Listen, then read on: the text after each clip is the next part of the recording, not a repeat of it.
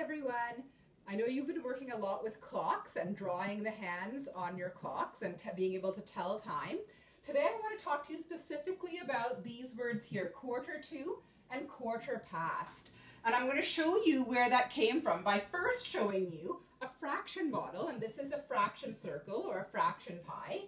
And as you can see, this pie has been cut into fourths. We also call that quarters. If you think about money, you can think about four quarters making one whole dollar. So four quarters here, four fourths will make one whole.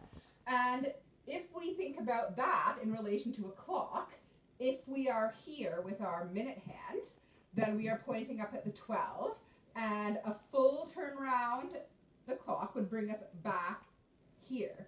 So, to, and that would be when the next hour would start.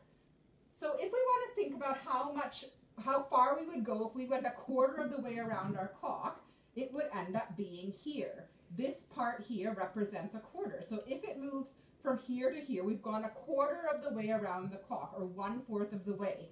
So in other words, on a clock face, that would be from the 12 to the 3. And this 3 marks the quarter after point.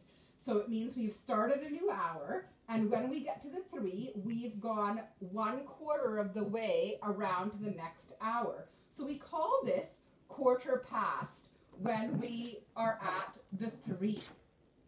Now, the quarter to would be if the clock started on the 12 and if it went all the way around so that there is only we only have one quarter left to the next hour. So we can see that there's a quarter of the way to the next hour where it would change to a new hour.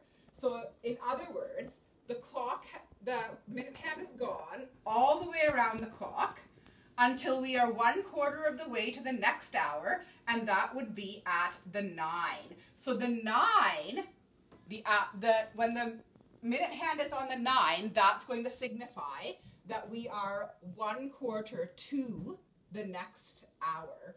So if you wanted to find the time, 5.15, okay, that would be quarter past three, uh, quarter past five. So we know that time as quarter past five. We are one quarter of the way past five. So my long hand I know would be on the three.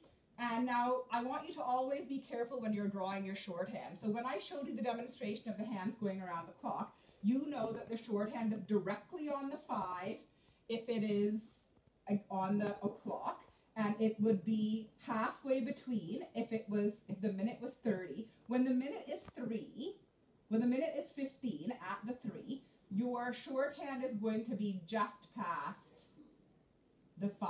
So almost between the 5 and where you would have put the halfway. As you can see, the 3 is halfway between the halfway. So half of a half is also a quarter. That's the way you can think of it. So your shorthand would just be a little bit past that hour. Now, if it was 545, okay, that means that we're actually closer to the next hour. Anytime we're past the 30, we're actually closer to the next hour. So what you want to do is then you want to look ahead to the next hour.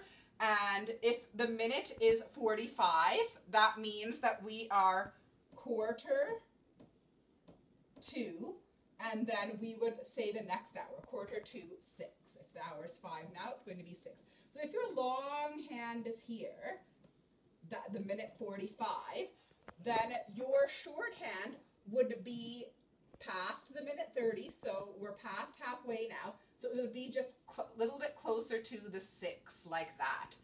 All right, so you want to make sure that your shorthand is also in the correct position as well as your long hand or your minute hand.